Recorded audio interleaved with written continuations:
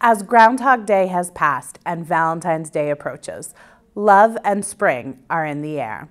There's a lot to appreciate and love in the Warwick Valley, from horses to expressive art. Don't go away. We'll be exploring these topics and more on this month's edition of In the Valley.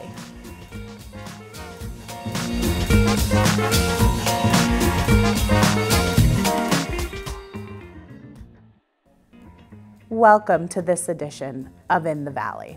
I'm Stephanie Keegan. When someone hears the phrase voices through a photo, they might be confused. How can you hear an image? One project in Warwick, however, wants to give a different kind of voice to paintings. Let's have a look. Technology improving at an exponential rate, and all the distractions, anxiety, or sadness it causes. Here in Warwick, a group is trying to combat the problems with technology but also bring the community closer together. Uh, we the People Warwick started in 2021 uh, with di- facilitated dialogue circles, um, and that's continued to be the core of our programming, but we have expanded into storytelling and the latest uh, photo voice. At the Albert Wisner Library, downstairs in the community room, we the people of Warwick have made a display of their Voices Through Photos exhibit. For the exhibit, we the people gave their members a prompt and asked them to take a picture that best answers the prompt. But what is we the people's goal with this exposition? Uh, one of the things we were trying to achieve using photographs through and into, interweave with our dialogue is how could people give vision to what they valued about our community? And even though we come from different points of view, different experiences, different cultural backgrounds, what are the sameness in our the values that we hold here in Warwick? What is it that captures our imagination about this place that we so love? Bringing in photos every week to prompt their discussions and their dialogue, um, and to express what they were thinking about the topic. Um, and it really inspired a lot of digging in between members of the group um, and a lot of bonding actually. Bringing together the community in a world full of political and cultural tension.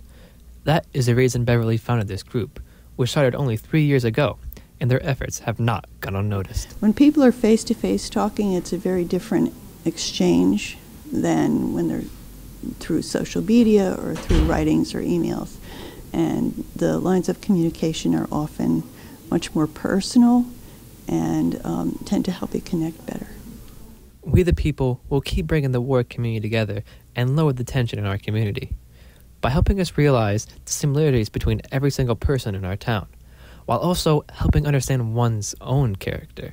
Our particular stories as, as uh, people who have, have a lived experience. So when we bring people together, we focus on you know, what is your life and, you know, what have you seen? How's your lived experience shaped the way you think or include or exclude people? So we're exploring like our own way in which we've developed as human beings and how we can connect with other people with similar values. Long group. We had about a dozen people um, are able to now through the photographs that, that they chose to um, put in the exhibit out in public, now everyone can come and see it and kind of participate in that way. So it's it's ongoing and it can reach a lot more people. If you want to join We the People and help understand yourself or the community better, check out their website and join in on one of the discussion groups. For Warwick Valley Television, I'm Logan McKay. Voices Through Photos will be going on until February 28th, so stop by the Albert Wisner Public Library to take a look. But if you're in town anyway, you might as well stop for a bite to eat first. There are so many restaurants in Warwick, but which do the residents enjoy the most? We are interviewing people on their favorite lunch spot, lunch spot in Warwick Valley Village. My favorite spot is Wolfie's, and I like Wolfie's because it has uh, old school comfort food. And my favorite lunch spot in Warwick is Cafe a la Mode. I like it because at lunchtime you can still have breakfast if you'd like, or you can have one of their sandwiches for lunch, uh, and they make great milkshakes too. So that's my favorite lunch spot. One of my favorite places to be in for Warwick Village is definitely Cafe a la Mode. They have really good food. Like they have acai bowls, just different flavors and stuff. A lot of variety, and it's just a great place to be favorite lunch place in town is Cafe Dolce. Uh, it used to be the bookstore in Warwick for many, many years, and they still have many of the old books which you can uh, borrow or just read while you're there. Upstairs, they have a great view of Main Street.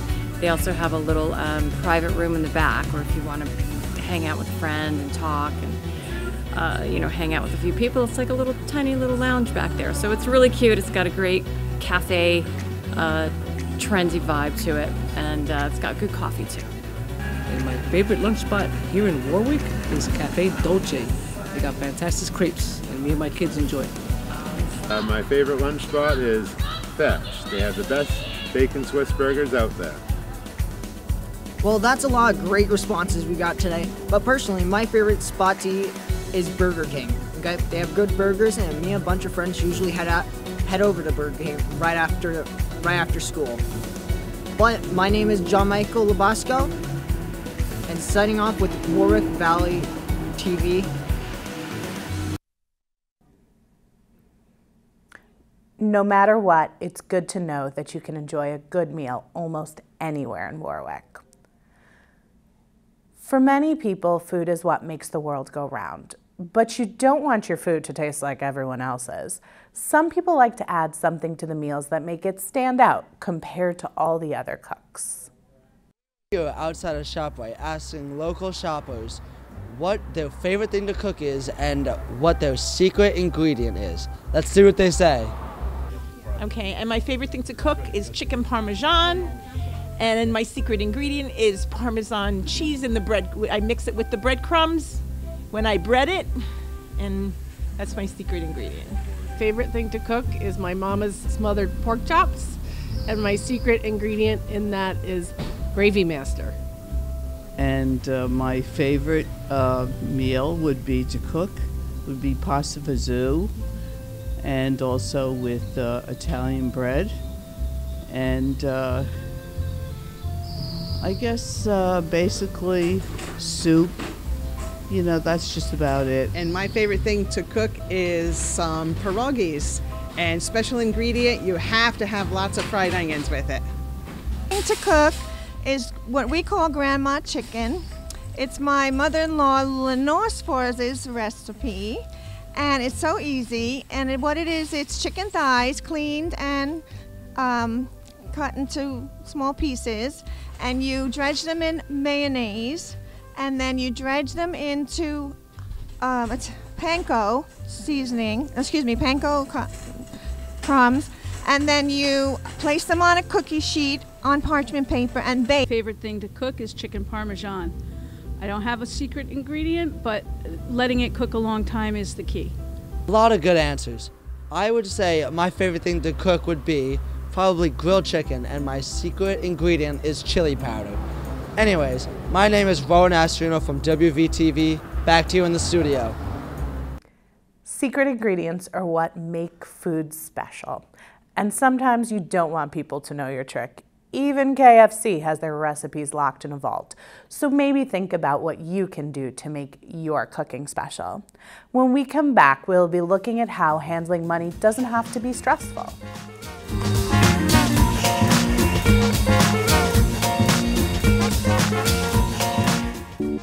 When it comes to making plans, you are the best. Remember the best planned 90 minutes of your life? Or that surprise party for your parents' golden anniversary? You get the golden planning. The same way you plan each detail for those moments, start planning to protect you and your loved ones from a natural disaster. Sign up for local weather and emergency alerts. Prepare an emergency kit and make a family communications plan. Protecting your family is the best plan you can make. Welcome back to In the Valley. I'm Stephanie Keegan. Banking is often seen as a tedious process. One business, however, wants to make sure the process is more streamlined. I'm here with Matthew Guy of Rhinebeck Bank. Banking often gets a bad rap. Sometimes people think it's stale or pushing numbers, which is an oversimplification. So tell us, what does a normal day at the bank look like for you and your team? A normal day at the bank um, is really just helping our community. Uh, I know that there's a lot of rumors that go around how pushing numbers or just simply counting is what a banker would do, and that's really not the case.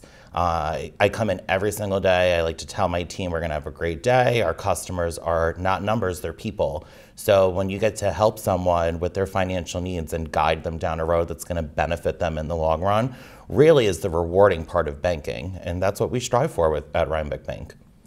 Your team at Rhinebeck often collaborates with many of the stores and restaurants on Main Street. What has been the best part about that? You know, I grew up in Warwick, so now that I'm working on Main Street in Warwick, it's really nice to see the evolution of what happened and how much the community um, works with each other. It's really nice to see how we all support each other and just build our community to make it a better place. So when most people think about banking, the word community doesn't always follow that. Rhinebeck prides themselves on being a part of the community and sponsoring and being present at local events. What does community banking mean to you? You know, community banking obviously is more of a smaller type of banking. We like to make it more personable. Um, like I said earlier, you're not a number, you're a person to us. So when someone comes through my front door, they're sitting down at my desk, it's really like building rapport with the customer, making sure that all of their financial needs are taken care of. It's not about what my opinion is, it's about what the community needs. And giving back to them is really what separates us from the others. Rhinebeck has really immersed themselves in Warwick. Can you talk a little bit about the value that you see in that? I see the value in getting more involved with everything because it's not just showing that we're a financial institution, we're looking for deposits, we're looking to benefit the community. If the community is growing and being more successful and we find a way to help them get there, that's really what helps me sleep at night, and I know that's what Rhinebeck Bank looks forward to. Rhinebeck is a great presence on Main Street. How have you seen Main Street evolve? You know, as mentioned before, I grew up in Warwick, so it's really nice watching how everything has grown, whether it's a small business or the, a new owner coming in, a new member to the community. So watching everything evolve and become more positive for the community and benefiting everyone is really, it's a beautiful thing. Yeah. And you yourself are a graduate of Warwick Valley High School. What led you to banking? So I graduated in 2007, and I actually started working with developmentally disabled individuals. Um, I unfortunately broke my back and I had to have surgery. So after that, I wasn't in a more physical atmosphere. So I went back to school and started banking as a teller with Rhinebeck. And I ended up just falling in love with it and grew my way from teller to banker to a branch team leader. And now I'm a branch manager. That's wonderful. You really offer us a unique perspective, having seen Warwick change. What are you hoping to see next in Warwick? You know, I'm really proud to say that I grew up in Warwick and see how everything has gone. What I would like to see next is this new generation continuing to support each other and really just build our community to make it a better place. Well, thanks, Matthew, for coming and telling us more about Rhinebeck Bank and what we might be expecting soon. When we come back, we'll be looking at a place that certainly doesn't horse around when it comes to helping people. We'll be right back with more on In the Valley.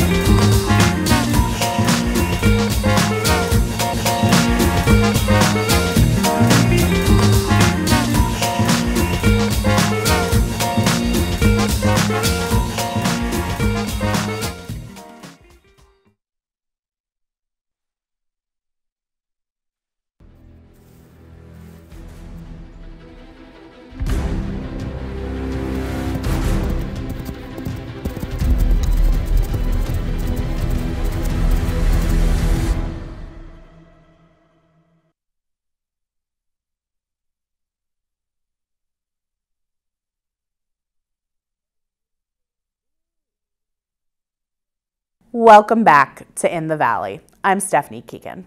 Warwick is almost always growing and changing to better serve the community as a whole.